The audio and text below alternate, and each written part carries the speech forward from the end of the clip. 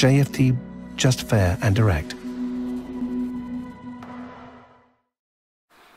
Good morning everyone and welcome to JFD's daily market review for May the 8th. I am Charalambos Pissouros, senior market analyst here at JFD and I will talk about yesterday's main market movers, what's my opinion moving ahead, what are today's important events and how they could affect the markets.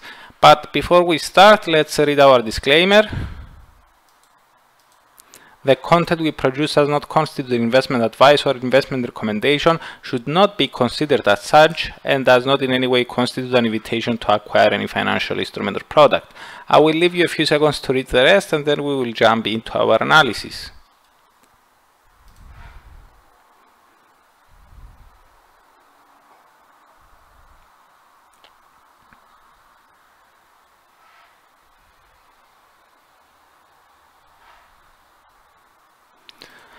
Okay, the dollar reversed and traded lower against uh, all but one of the other G10 currencies on Thursday and during the Asian morning Friday. It gained only against uh, the Japanese yen, while it underperformed the most versus the Aussie, the Kiwi and the Canadian dollar in that order. The currencies that gained the least, uh, the least versus the greenback were the euro and the Swiss franc. Now, the strengthening of the risk-linked currencies and the weakening of the safe havens suggests uh, that uh, that risk appetite improved uh, yesterday. Indeed, major EU indices were a sea of green, perhaps due to the much better than expected trade data from uh, China, as well as due to reports suggesting that uh, the US and China uh, that US and China representatives will hold talks on implementing the Phase 1 trade deal. Wall Street also traded uh, north uh, with Nasdaq erasing uh, losses for uh, for 2020 overlooking another surge in initial jobless claims perhaps following a string of upbeat earning reports led by PayPal. The fact that interest rates implied by the Fed fund futures turned negative may have also helped uh, risk sentiment. It seems that although the Fed has never been in favor of the negative rates uh, regime, some investors believe that the committee could make an exception due to the damages caused by the fact by the fast spreading of uh, of the coronavirus. Specifically, the first uh, Fed funds yield that turned negative was that of uh, December this uh, year, with the overall curve assigning a 62% chance for a 25 basis points cut by the summer of 2021. The upbeat uh, investor morale rolled over into the Asian session today as well after US and China trade representatives had a phone call agreeing to remain in communication and to strengthen cooperation. The recovery in the broader market sentiment is in line with our uh, latest uh, broader view. Remember yesterday morning, despite Wednesday's risk of trading, we said that with governments around the globe easing their lockdown measures and with a potential vaccine perhaps being ready for distribution soon, we stick to our guns that uh, risk sentiment could uh, rebound again and this is what happened uh, yesterday and during the Asian uh, session today. As uh, for uh, later today, focus uh, is likely to turn to the US employment report for April. Expectations are for non-farm payrolls uh, to have fallen 22 million after sliding 701k in March, while the unemployment rate is expected to have surged to 16% from 4.4% uh, the month before. Average hourly earnings are expected to have risen 0.4% month over month, the same pace as in March, which, uh, barring any deviations to the prior monthly prints, could drive the year-over-year rate up to 3.3% from 3.1%. Now, at its uh, latest meeting, the Fed uh, kept interest rates uh, unchanged at the 0.025% range and hinted that more stimulus may be delivered if uh, judged necessary we will continue to use powers proactively until we are confident that the US is solidly on the road to recovery, Fed Chair Powell noted.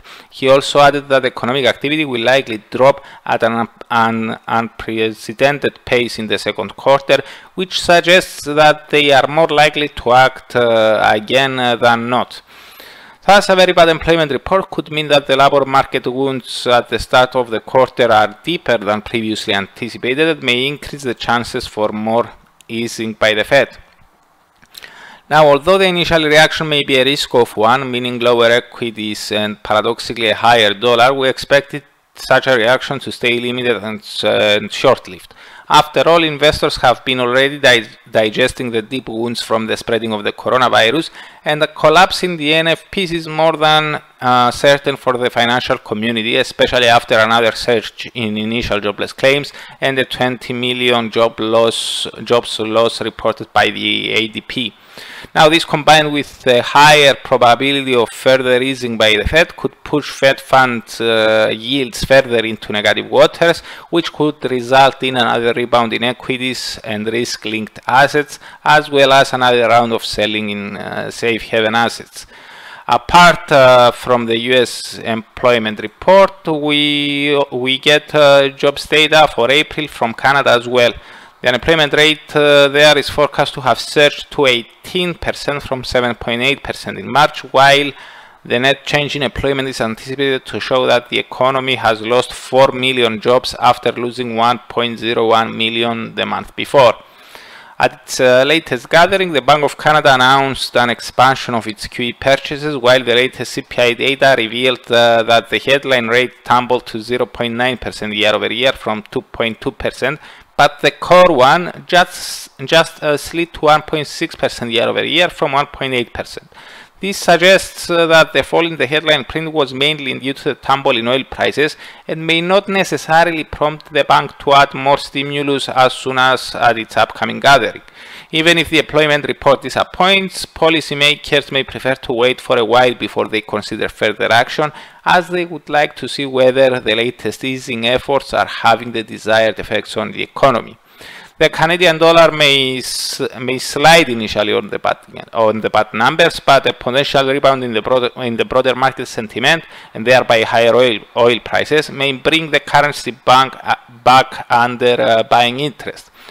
Taking also into account that the dollar may come, um, the US dollar may come under additional selling interest soon, we would expect uh, dollar CAD to continue drifting south for a while more, even if it rebounds after the US uh, and Canadian employment reports.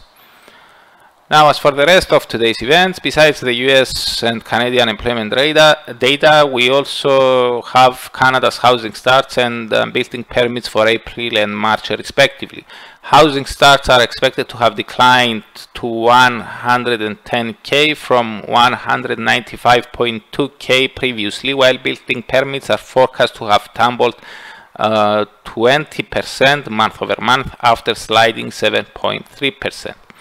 So that's it uh, from me.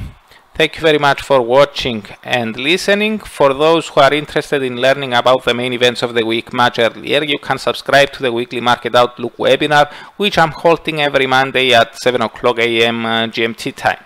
You can find the link in the description below. So goodbye, have a great day, a greater weekend, and I'm looking forward to seeing you here again next week.